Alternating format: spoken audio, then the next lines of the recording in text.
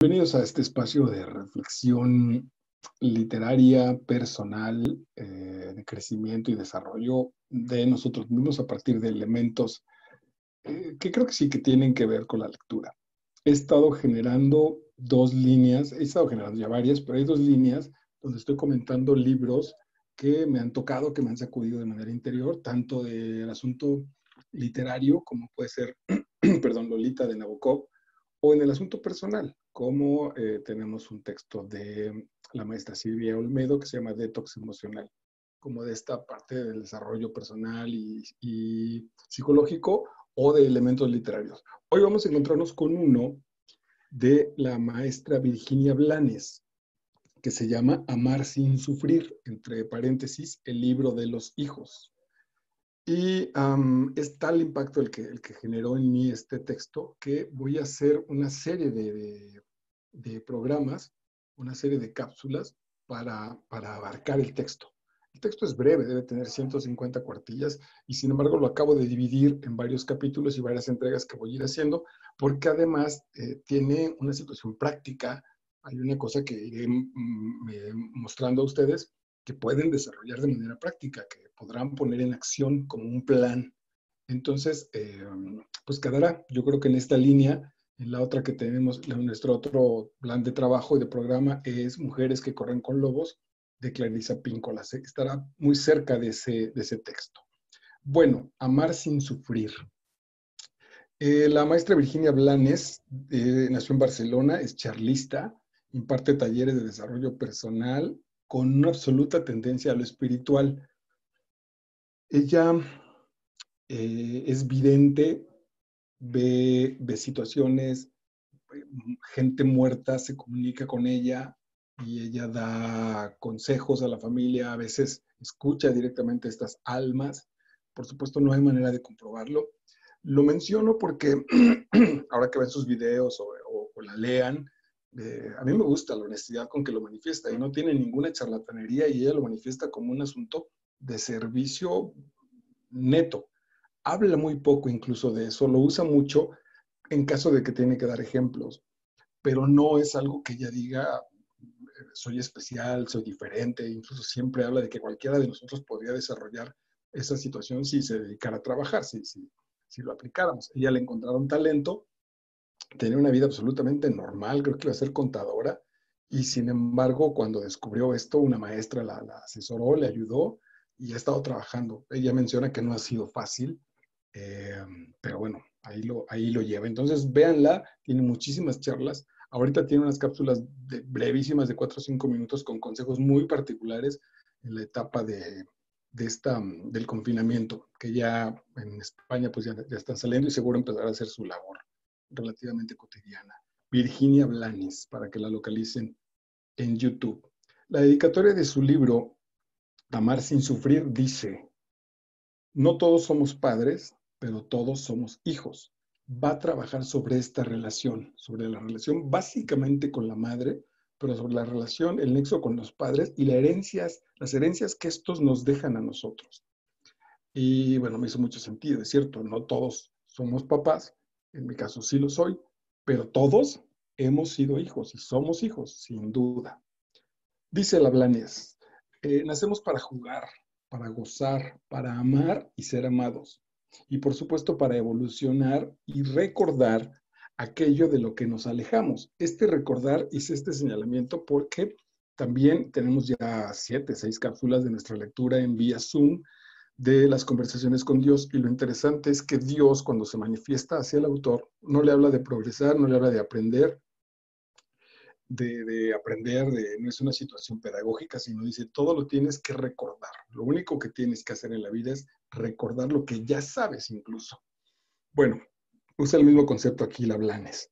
Eh, recordar aquello de lo que nos alejamos, aquello que en ocasiones anteriores, está hablando de otras vidas, no supimos hacer o integrar y que por ignorancia aún nos puede hacer caer en las trampas del miedo y por ende del sufrimiento. Entonces, la parte que nos lleva a sufrir son los miedos que hemos creado, esos miedos que hemos entregado nuestra libertad o los cuales nos han enajenado la vida. Es posible entonces que se acaba mi vida, no cumplo con el objetivo con el cual llegué y entonces en la siguiente oportunidad vendré a resolver ese miedo, más otras situaciones en específico que tengo que resolver para que mi alma siga evolucionando.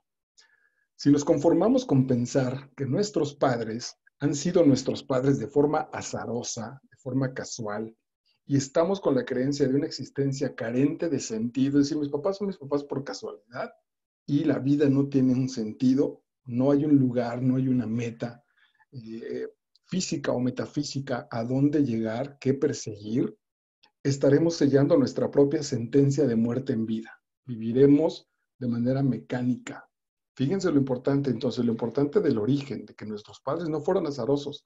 El plan ya estaba elaborado con estos dos que han sido mis antecesores. Todavía hay aquí toda una historia que ha coincidido eh, de manera funcional, de manera directa, para que yo aparezca. Y todo este camino tiene un sentido, tiene, tiene una meta clara, diseñada, no clara, pero tiene una meta diseñada a perseguir, que tiene un objetivo si yo no hago esto, si yo cancelo y doy por la, vida de mis padres como un asunto azaroso y mi situación no tiene una dónde ir, entonces voy a vivir como zombie, voy a vivir como muerto en vida. Si los padres, recién que nos, nos están recibiendo, son capaces o fueran capaces de cambiar la tendencia a adiestrar y mutilar, porque eso es lo que hacen, nos adiestran, dicen los cuatro acuerdos, nos entrenan, para una vida social, para sufrir menos, para abordar y conocer las cuestiones de la vida, para, para manejar los utensilios, diría Heidegger, ese Dasein, una de las primeras situaciones que tiene es que se encuentra con otros objetos que están dispuestos a su manejo. No sabe cómo llegaron, no sabe ni siquiera el, el, el mecanismo, diría, diría este, Heidegger, ¿no? Es decir, me encuentro con una máquina que poda el césped y solo me enseñan a prenderla y a caminar. Y se acabó, no sé cómo llega la electricidad, si se maneja por medio de no sé qué, de la ingeniería no tengo idea. Solo sé usarla, no es necesario reflexionar para darle uso a, esa, a ese útil, a esa, a esa herramienta. Eh, pero bueno, entonces, si los papás cambiaran el asunto de adiestrarnos y de mutilarnos con sus noes, con sus cancelaciones, con sus prohibiciones, con sus burlas, con sus herencias, con sus daños, y cambiaran esto por una sana observación de nosotros y por un respeto que es muy probable que ellos no hayan tenido cuando fueron niños, entonces muchos patrones cambiarían. La idea es, yo no tengo, cuando tengo un hijo, yo no tengo la meta de ser un ser humano, tengo la meta o la finalidad de observarlo. Desde mi mirar, desde mi visión, eh, ocasionalmente ayudarle con respecto a lo que veo para darle los medios hacia dónde va. Sí eh, tengo un hijo, bueno, mi propio caso fue así, que escribí muy pronto, que leí muy pronto, que me gustaba el ballet, que me gustaban las artes, y me preocupado, me manda el fútbol americano. Absolutamente nefasto, pues, porque hay una cuestión de falta de observación.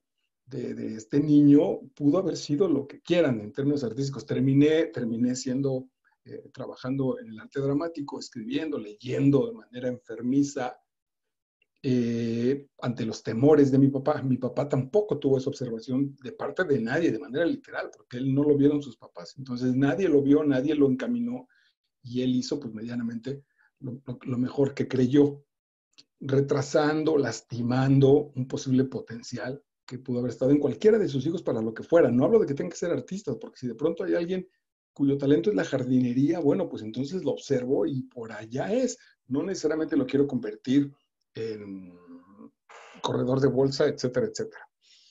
Nadie nace para sufrir. El sufrimiento, esta definición es bien interesante, el sufrimiento es la opción que eligen. Finalmente, asumimos el sufrimiento desde nuestra capacidad de ser libres. El sufrimiento es la opción que eligen aquellos que se acomodan en la ignorancia.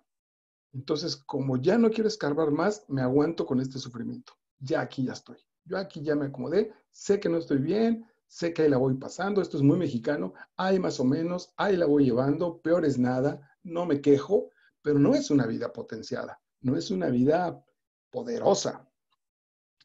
Eh,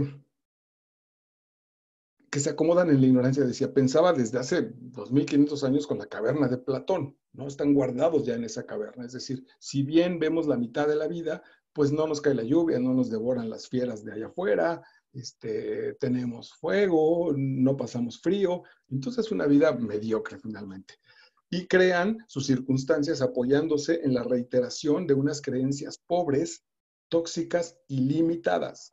Cuando el anhelo para los niños es pues, tener un trabajo, conseguir una pensión, tener una casa y una mujer que te acompañe o un hombre que te mantenga, lo que estamos repitiendo son creencias pobres, tóxicas porque matan nuestro espíritu y limitadas, limitadas, con límites puestos. Eh, tengo otras cápsulas de heridas emocionales en la infancia donde hay un enlace maravilloso de la doctora Bourbeau con respecto a nuestros cuerpos. Basta ver nuestros cuerpos físicos y nuestras enfermedades para saber la vida espiritual, la vida psicológica que llevamos. Esto tiene solución, dice la Blanes, y basta con un simple sí. No hay que hacer un requisito, no hay que llenar una solicitud, no hay que purificarse. Basta, ni siquiera hay que tratarlo con un terapeuta. Si yo tengo mi vida jodida, si yo tengo una, si tengo creencias pobres, tóxicas, limitadas, mi vida no me está gustando, no estoy de acuerdo. Yo estoy seguro que vine aquí para ser y para hacer mucho más. Basta con decir, no quiero esta vida, quiero otra. Sí la quiero. Eh, Angelito de la Guarda, este, mm, Espíritu Santo, El Sol del Mediodía, eh, Hugo Sánchez, Maradona, lo que quieran. Basta con decir sí a la vida para generar ese cambio. Dice otro texto, cuando recuerdas quién eres, es cuando recuerdas para qué eres. A partir de saber quién soy, voy a recordar para qué estoy. Eh, las siete grabaciones que tenemos de las conversaciones con Dios en nuestro canal pueden ser de mucha ayuda porque la mitad de ese texto nos, nos lleva, nos hace la invitación y el convencimiento de manera libre y sana de reconocer quiénes somos. A partir de que yo sé quién soy, encuentro el para qué estoy cada uno de nosotros tenemos o hemos tenido a los padres óptimos para vislumbrar, para ver aquello que era fundamental para nuestra propia evolución. Esto me ha llevado 50 años de mi existencia, porque siempre he pensado pues, en el alcoholismo de mi padre, en que fue un tipo exitoso que no logró nada, su, sí, su profunda solidaridad con respecto a su familia, y en esta, mm, el punto débil de mi madre ha sido esta, esta especie de ignorancia. Yo les he platicado que mi mamá se puso a estudiar la secundaria cuando yo ya iba en tercero de secundaria, ella iba en primero de secundaria, era muy raro. Siempre la considero una mujer ignorante, una mujer que todavía hasta hace muy poquito eh, hacía un juicio sobre ella a partir de una lectura que según yo no le entendió a esa lectura mi madre. Y he estado buscando esos dos, esas dos líneas sin revisar que eh, hay otros valores, que es probable que, que, que, haya sido muy motivante tener una madre, perdón, estoy abusando del término, pero tener una madre ignorante para que yo no sea un ignorante. Tener un padre frustrado para que yo no sea un padre frustrado, para que yo no sea una persona frustrada. Es decir, ellos se han sacrificado amorosamente, se han entregado a jugar esos roles en mí para que yo los supere. Tengo muy claro en mi divorcio con respecto a mis dos hijos, que son, eh, son hermanos de la misma madre, eh, como ambos están buscando en su vida un matrimonio largo, pleno, eh, feliz, aún siendo hijos de un matrimonio divorciado. Entonces hemos servido su madre y yo como ese ejemplo de lo que no quieren, de manera amorosa.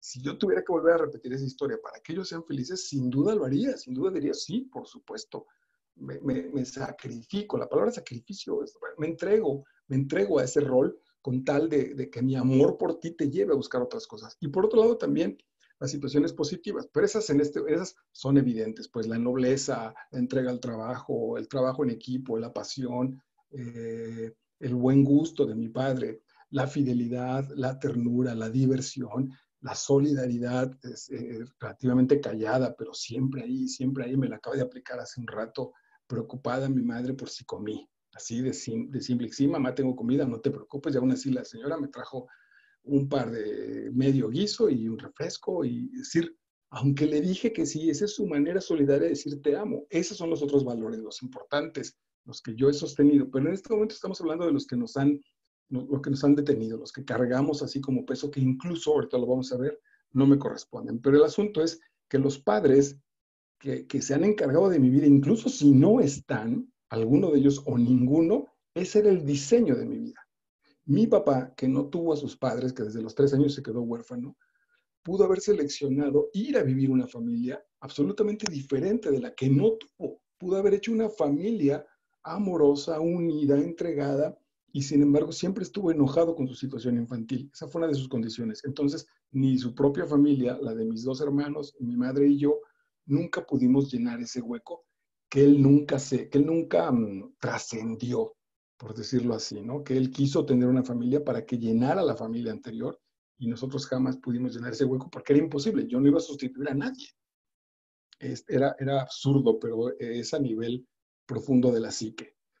Eh, bueno, entonces para evolucionar reflexionen que para su evolución eso puede requerir un poco de paz, un poco de tranquilidad. Es bien difícil cuando em, me he enfrentado pues al trabajo donde, donde papá abusó de una de las hijas, donde vi de manera directa cómo mamá le ponía el cuerno a mi papá cómo acomodar esas situaciones. Y sin embargo, con toda honestidad se los digo a los que me conocen y los que no, bueno, pues pongo mi palabra de honor, así está diseñado, así lo hemos elaborado, de ese tamaño es el obstáculo que vas a saltar. Varias veces menciona la Blanes que no hay en la vida un obstáculo que no podamos. La vida no se está burlando de nosotros.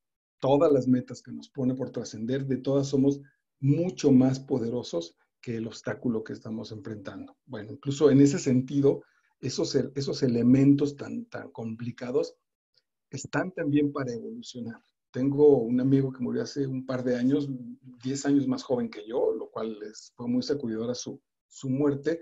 Y un poco la conclusión, ya trabajando estos temas, es que el, tipo murió a los 43 años porque nunca perdonó a su papá. Ese fue el gran tema. El papá era un cabrón. O sea, cuando nos platicó las cosas que le hacía en la infancia, eran verdaderamente rudas, pero no lo perdonó. Y entonces, tan no lo perdonó que prefirió morir, prefirió entregarse al cáncer a su enfermedad y irse de esta vida sin perdón. Seguro regresará a saldar esa materia que no ha aprobado. Lo realmente trascendente es que mientras estamos vivos podemos reparar, podemos avanzar y podemos ser plenamente felices. Entonces, mucha atención. No importa qué esté de qué tamaño sea el pasado, de qué tamaño sea la cobija. leíamos hace poquito en la cabaña de, John que eh, la depresión a nuestro personaje lo tenía como una cobija, como si estuviera encima de él aquí una cobija y tenía que hacer todas sus actividades con ese peso de la colcha encima. Bueno, siempre es grandiosa la vida, siempre se puede hacer, pum, quitarnos la colcha y avanzar, pum, suena relativamente sencillo, pero en realidad sí es muy fácil vamos a, vamos a aclararlo. Pero está la posibilidad, ¿no? Que podemos ser plenamente felices y podemos avanzar. Elegimos nacer de los padres que tuvimos y ellos nos eligieron a nosotros en un encuentro de trascendencia mutua. Y estas elecciones fueron tomadas desde el amor.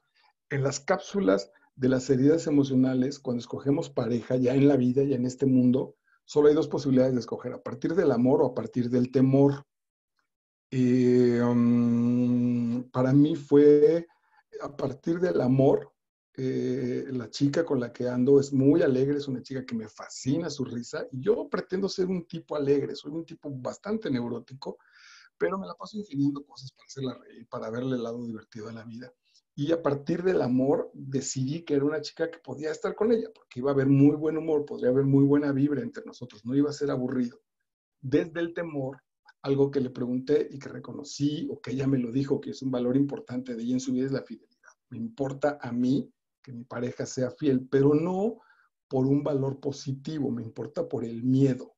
Como traigo una herida de traición en mi infancia, como traigo una herida de abandono en mi infancia, no quiero volver a repetir esa herida, entonces desde el miedo escojo a una mujer que tenga esa característica. A lo mejor me perdí de otra mejor, a lo mejor me perdí de otra, que si, ese, que si esa carencia la supero, hubiera, hubiera podido tener un desarrollo más, más grande con esa otra pareja.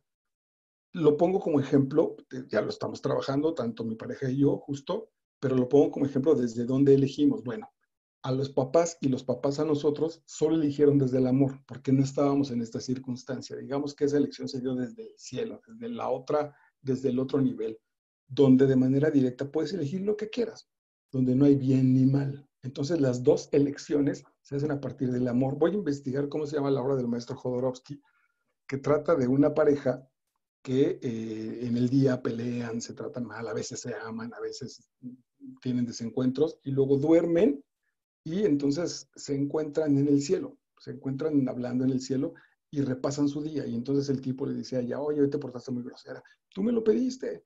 Sí, claro, pero es que pues, quiero aprender esto. Es como Jodorowsky nos está planteando que en las noches diseñamos nuestro día, lo vivimos y en la noche hacemos un resumen con nuestras almas que nos acompañan de eso. Y paradójicamente, eh, eh, en, la, obra de Jodorowsky lo que pide es justo lo contrario. Es decir, si yo tengo un problema con los celos, entonces en la noche le digo a mi chica que me dé celos, que le coquetee al vecino, que le coquetee a fulano, porque quiero superar eso. Claro que en el día me desespero, en el día quiero matarla, en el día es súper angustiante, pero en la noche se lo estoy pidiendo porque esa meta quiero trabajar, esa meta quiero corregir.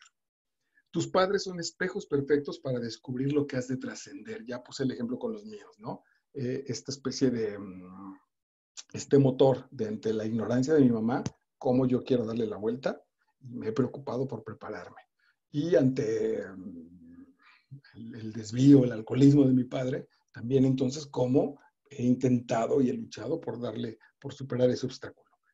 Puedes aprender de ellos tanto como ellos pueden aprender de ti. También atención con esto, si ya estás colocado en la paternidad, es muy importante. Los hijos son grandes maestros, en eso yo estoy absolutamente convencido. Si una de las cosas que la vida me ha regalado como una verdadera maravilla son el chamaco Jorge y el chamaco Rodrigo. Ya no son los chamacos, pero de verdad, de verdad son mis grandes, mis grandes maestros. Estoy empezando a retomar en la relación de adultos que siempre se me ha antojado con Jorge y sin embargo con Rodrigo desde que era pequeño cosas importantes en mi vida se las he consultado a él desde que él tenía 10 años. Así de Rodrigo, nunca le he dicho cosas brutales y creo que como, como traumas, pero, pero más o menos a su nivel le he hecho preguntas y él siempre me ha dado una respuesta de coach profesional, ha sido maravilloso.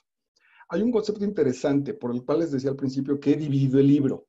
Me lo pude haber hecho, pude haber hecho el resumen del libro de manera total, pero le encuentro mucho sentido a repasar algunos puntos y a generar ese trabajo práctico al final de estos, de estos capítulos.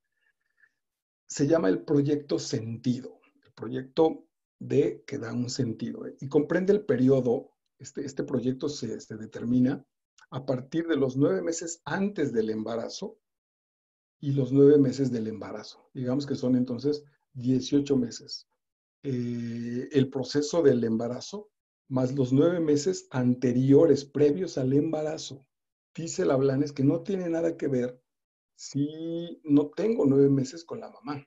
Es decir, lo que se va a transmitir en mi hijo, si yo, si yo estoy con una amiga, ¿no? Este, y nos echamos unos tragos y tenemos relaciones sexuales y está embarazada, y los nueve meses anteriores al día del embarazo, a ella la vi dos veces, este, o una me la encontré ahí, lo que el bebé va a heredar son mis actitudes de esos nueve meses antes del embarazo y las actitudes de, las nueve, de los nueve meses antes del embarazo de la mamá, de lo que haya pasado en la vida. Si ahí sufrí una depresión, si me fue muy bien, si generé trabajo, si corté con mi novia, si vivo en casa de mi madre, si estoy triste, si estoy alegre. Y lo mismo con la mamá, los nueve meses de historia de vida se van a reflejar en el bebé los nueve meses antes de la concepción.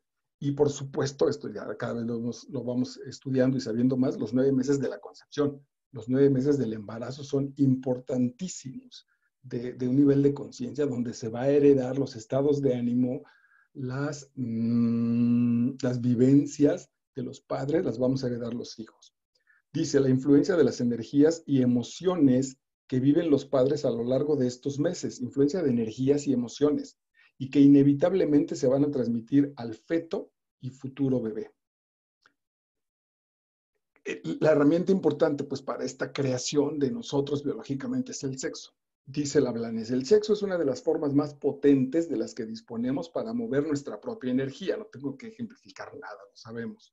Es muy complicado allí mantener nuestros disfraces. En la sexualidad es complicado no encontrar quiénes somos de manera literal estamos desnudos, pues entonces si tengo una lonjita, si tengo una herida aquí, si tengo quién sabe qué, en donde sea un lunar en las nalgas, me lo van a ver, lo van a descubrir porque estoy desnudo.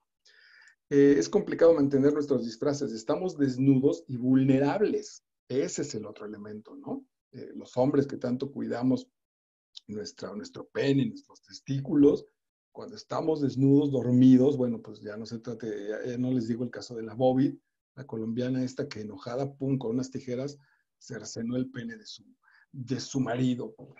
Perdón, pues porque estamos absolutamente vulnerables, tanto nosotros, hombres, como, como mujeres. Además de la gratificación física que implica el sexo, hay motivaciones mucho más subliminales, hay motivaciones que están por debajo de nuestra personalidad social y que pueden estar muy profundas en nuestro ser, que en el caso de una concepción, en el caso del embarazo, dejarán una huella muy marcada en el bebé, es decir, a través de nuestra vida emocional, nuestra vida interna va a quedar puesta en nuestro hijo a partir de la concepción y los nueve meses, como les he dicho, anteriores a esa concepción, cuando menos. Hay quienes hablan hasta de un periodo que este periodo se acaba hasta los tres años del, nacimiento del bebé, nueve meses antes y tres años después del nacimiento. Es posible, por ahí la, cultura católica, la religión católica tenía hace muchos años, yo fui, yo fui parte de eso, este, esta ceremonia de la confirmación que se cumplía a los tres años. Es posible que haya venido a partir de ese elemento espiritual o de ese elemento psicológico. A mayor conciencia de la madre, dice la Blanes, particularmente con la madre, a mayor conciencia de la madre y mejores circunstancias en su presente, en el momento en que va a ser concebido, en el que, va, en que se va a generar la concepción, eh, menor contagio negativo habrá para el bebé. Entonces, eh, por eso es que sí se nota finalmente, ¿no? Una madre que a lo mejor tiene un trabajo, que eh, tiene su pareja estable, que los dos desean tener un hijo, que ella tiene satisfechas muchas de las situaciones de la vida, que están cogiendo de maravilla, que la vida sexual es maravillosa, que está enamorada de su, de su galán, frente a una chamaca de 16 años que eh, la embarazó el exnovio con el cual ya no quiere una relación, que el exnovio ya hasta tiene otra pareja, que el embarazo va a ser un pinche estorbo, que tiene que enfrentar al papá y a la mamá, que le van a decir puta, que a lo mejor la van a correr, que no tiene dinero, que el papá no quiere saber del hijo, que no tiene trabajo. O sea, siendo bebés, ¿a qué fiesta quieres llegar? ¿A cuál de las dos situaciones quieres, quieres, quieres llegar? Y todo eso va a ser una herencia que ya está puesta en nosotros cuando nacemos. La mayoría de los papás usan a sus hijos como receptáculos, como, como tazas, vasos, donde volcar un amor mal entendido que no saben darse a sí mismos. Atención, chicas, hombres. Ay, porque además es como cultural, que toda la tristeza y toda la pobreza jodida, toda nuestra vida jodida, pum, la ponemos en nuestro hijo como una esperanza. Cero, no debe darse. Todo el amor que las personas no saben darse a sí mismos es un amor contaminado que va al hijo. Yo en el coaching es, recurrente estar trabaje y trabaje y trabaje, porque incluso algunas de las mujeres hasta se ofenden, porque dicen, ¿cómo voy a dejar de amar a mi hijo para amarme a mí? No es que lo dejes de amar, es que si no pasas por amarte tú, el amor que le estás dando a tu hijo está contaminado, es como, como purificar, como hervir agua, pues, ¿no? Este, si no hierves esa agua, no se la puedes dar a tu bebé, si no compras agua limpia, vas a dañar a tu bebé y tu agua viene contaminada porque tú no te has sabido amar porque estás poniendo la esperanza, la carga en un ser inocente, en un ser que, está desarrollando su conciencia, ya tiene deudas. Es terrible esa situación. O peor aún, como proyecciones que justifiquen su frustración. Papás que no estudiaron, papás que no pudieron ser futbolistas profesionales, ya ponen a los hijos en, ahí te va, tú te encargas. Mamás que no fueron felices con el marido, entonces ahí te va, tú te encargas como una excusa que evidencia lo que no se atrevieron a conseguir, lo que mi papá no pudo conseguir, tómala. Aquí tengo una confesión de mi, de mi querida madre muy fuerte, que seguramente yo siempre pensé que mi lado artístico venía como una herencia de mi papá. Pues no, resulta que el lado artístico viene de la herencia de mi mamá, que desde muy pequeña todavía lo sigue haciendo. Tiene 77 años y tiene como un objetivo escribir un libro, creo que estar escribiendo una novela, eh, bueno, quiso ser bailarina, por ejemplo. Su gran meta era ser bailarina de ballet folclórico. Su excusa es bastante, a mí me suena en este momento bastante pobre. El papá y la mamá le dijeron, no, no puedes, y se acabó. Y desde hace 70 años vive frustrada por eso. Bueno, si entonces Cuando tiene un hijo, dice, fíjense que puede ser relativamente amoroso. Cuando tiene un hijo, dice, ay, ojalá que este sí. Voy a hacer todo lo posible para que sí, pero en realidad lo que me estoy comiendo, lo que me traje al mundo fue su frustración, su tristeza. Porque qué tal si yo no hubiera querido ser artista como algunos de mí, como mis hermanos, que a veces están celosos porque piensan que mi mamá me quiere más a mí. Por ahí está ese sentido. No es que me quiera más, es que tiene puestas esperanzas en eso y no en los otros. Es injusto para los otros por la frustración de los papás. Bueno, ahí tengo un ejemplo muy claro. Esas contaminaciones van formando un personaje, entre comillas, no van formando un ser humano autónomo, auténtico, original, van haciendo un personaje que se impone a nuestra esencia. Eh, en las heridas emocionales de la infancia también aparece. Yo fui un niño muy bien portado, eh, muy cuidadosito, limpiecito, les caía muy bien a los adultos, pero yo sabía, yo lo manejaba. Me llevé una terrible neurosis porque, porque sabía, por ejemplo, que me gustaban las niñas, sabía que me gustaban las travesuras, pero me hice un poco hipócrita, me hice un poco reservado para, para pasar, porque me convenía, porque estar bien con los adultos tenía otros, eh, tenía otros permisos, los, los, borrachos me daban dinero porque me había portado muy bien, mi papá me presumía, estaba orgulloso de mí, pero en el fondo había un pequeño diablillo ahí, Lean Demian, que había ahí ese mundo oscuro ahí atrás de eso, que si no salía, pues evidentemente hizo de mí un neurótico desarrollado. Eh, impidiendo que nos manifestemos de forma coherente con nuestro plan de vida. Es decir, en realidad, pues es, es, tan complicada ya la vida que yo no sé si en realidad estoy siendo el que originalmente debía ser. Cosas que me llamaron la atención verdaderamente de forma impresionante fue ser bailarín, por ejemplo, ser embajador, ser poeta y ser sacerdote. De esas cuatro me acuerdo perfecto haber pasado por ellas así con, con ahínco, como, como, como con vocación. Quién sabe qué tantas determinaciones de parte de mis papás me llevaron a hacer otra cosa y medio negociar. Siempre pensé, como García Márquez, que eh, García Márquez decía que él escribía porque era lo que mejor le salía de las otras cosas. A mí actuar fue lo que mejor me sale de las que no sé hacer. No fui un gran futbolista, eh, eh, no fui sacerdote, entonces, bueno, esta más o menos ahí se defendía, pero, pero quién sabe. Lo que, es, lo que sucede es que sí se fue eliminando esta coherencia para ese plan de vida. Los hijos amamos tanto a nuestros padres que aceptamos la imposición de ese proyecto sentido, de la frustración de mi mamá, de la frustración de mi papá. Aquí puedo encontrar dos que han tenido mucho que ver con el éxito y cómo ese éxito ha sido una carga en mi vida y no me ha dejado ser feliz y que además es una zanahoria que nunca voy a alcanzar. Porque hay veces que reflexiono y digo, bueno, para, para, para mis logros en el asunto teatral, por ejemplo, en el asunto como maestro, soy un tipo muy exitoso. He escrito algunas obras de teatro, unas se en Europa, he ido cuatro veces a Europa con las obras de teatro, el personaje que desarrollo en la compañía donde trabajo es muy exitoso y sin embargo yo no me siento con ese éxito. Eh, de parte de mi madre este asunto de querer ser bailarina y de parte de mi padre dice que tuvo un momento en el que pudo haberse ido a estudiar becado a Europa y no fue porque ya mi madre estaba embarazada de mí. Y eso me lo dijo de chavito. Para mí fue un trauma cuando me enteré, pero si además como ahora me entero, es posible que sí estuviera esta carga real de rechazo de mi papá. No es que me rechazara, pero bajo mi papá siempre estuve visto como un reto. Mi papá siempre me estuvo retando.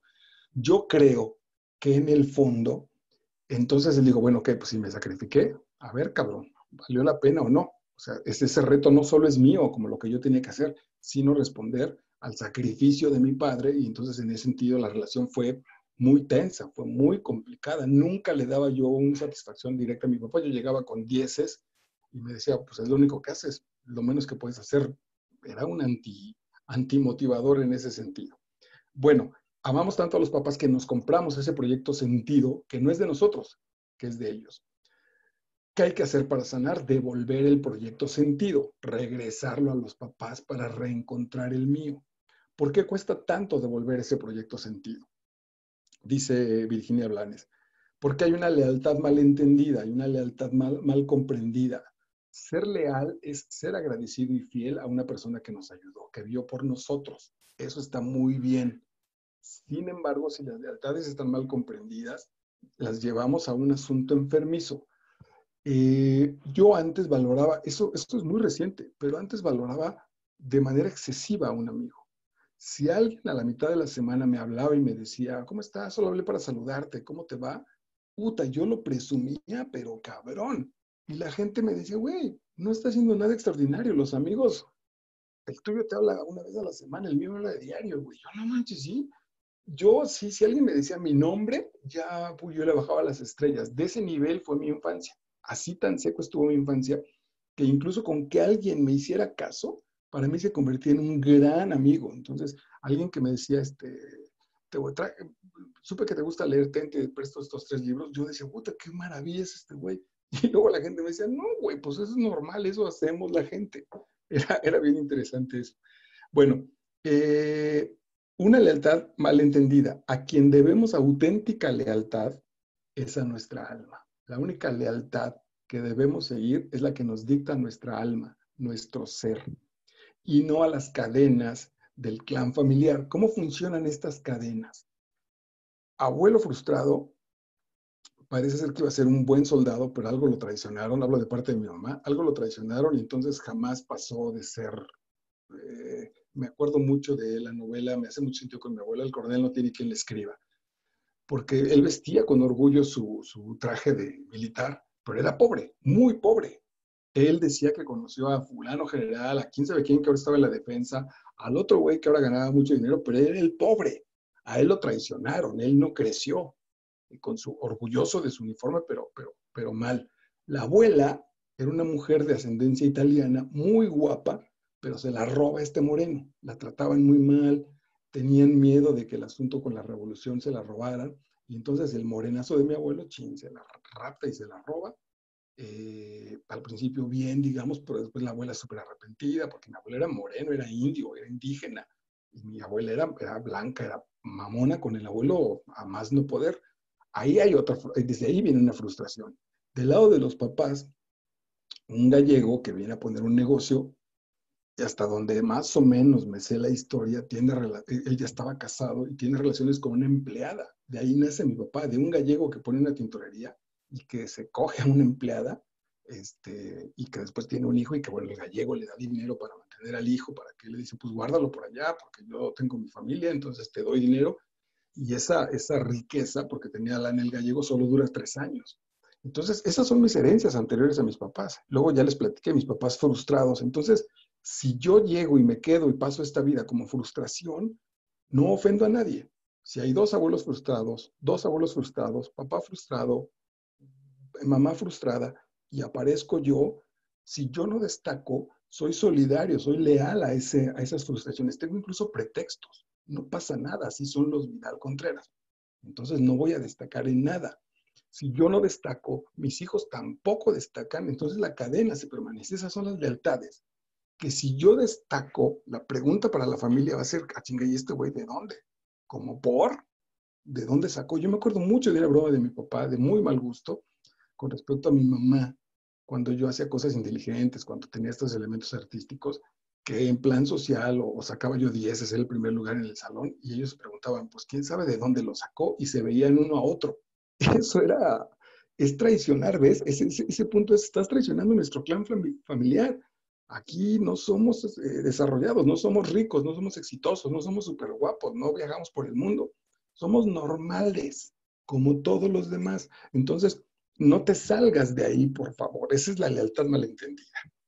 Eh, el otro es el temor a perder el sentido de la vida si devolvemos el cúmulo de obligaciones. Es decir, soy tan leal a mi madre que qué pasa si me despego de ella? ¿Qué pasa si yo me cambio los apellidos, por ejemplo, si ese fuera el sentido? Tengo un ejemplo que se me acaba de ocurrir. Mario Vargas Llosa es un autor muy conocido, ya ganó el premio Nobel incluso, es peruano de nacimiento y cuando se nacionalizó español hace algunos años por cuestiones mercantiles, por cuestiones de, de lugar donde vivir, pero él sabe que es un escritor latinoamericano, ama profundamente su Perú, porque la gente le hizo un pancho de que ya haga chupín y se quiso hacer español, una cosa bastante enferma. En el deporte tenemos a nuestro querido Hugo Sánchez también, que le ha ido durísimo porque el asunto es ya haga chupín, porque ya habla así, porque se casó con la española. Si eso es a nivel social, imagínense a nivel familiar. Bueno, si, entrego el, el, proyecto sentido a mi madre, a mi papá y se los regreso, un temor es, bueno, ok, ¿y ahora a dónde? ¿Hacia dónde voy?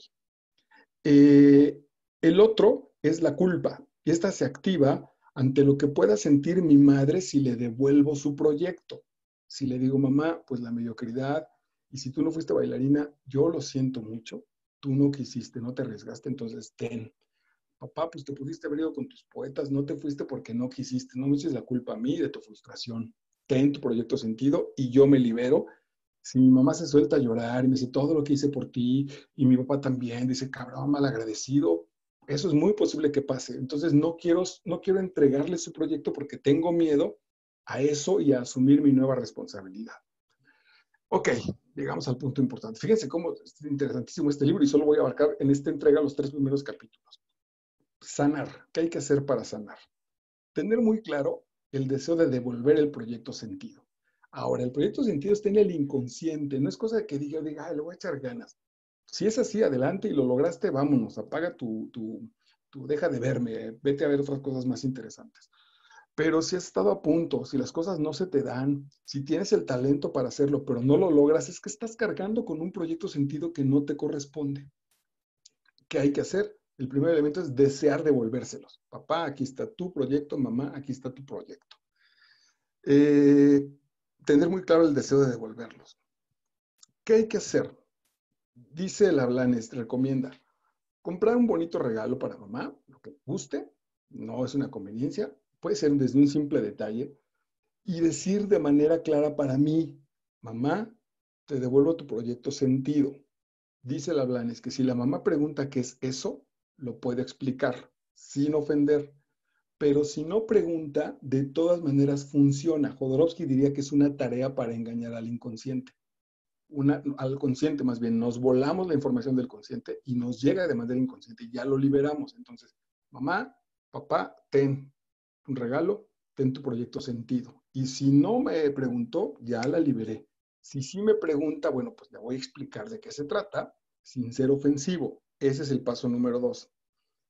Tercero, mantener, aquí está la parte práctica, mantener durante 93 días después de este regalo y después de devolver el proyecto sentido, mantener durante 93 días, días absolutamente, mantenernos absolutamente incomunicados de la mamá, pase lo que pase, o del papá o de ambos.